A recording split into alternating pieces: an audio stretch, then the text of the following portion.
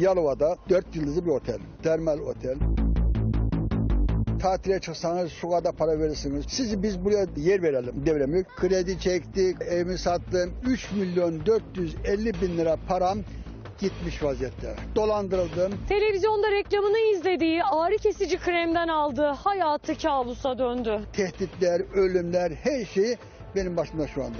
Kan kusturdular. İddiaya göre önce Yalova'daki termal otel dolandırıcıları paralarını aldı. Sonra da iddiaya göre başka firmalar defalarca kredi çektirdi. Kene gibi insanları sömürdüklerini yaşadım. 500 kişi dolandırılıyor günlük. 70 yaşındaki Mehmet Önder'in iddiaya göre İstanbul'da ne kadar malı mülkü evi varsa hepsi satıldı ve paralarını kaptırdı.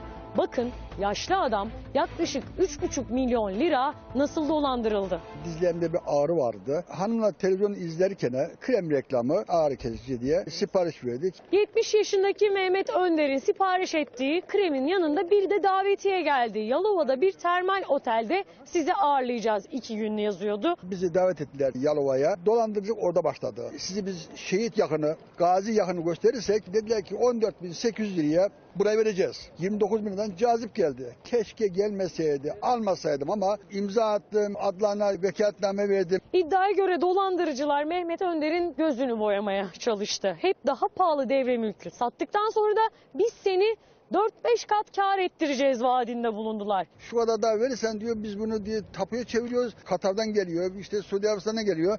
Onlar buradan mülk ediniyorlar. Yalan. Şikayetçi oldu polise ama dahası var. Alacaklılar sürekli Mehmet Bey'i arıyor ve iddiaya göre tehdit ediyor. Üstelik yuvası da dağıldı. Ayın 30'unda boşanıyorum. 6 bin lira maaş alıyorum. Emekliyim.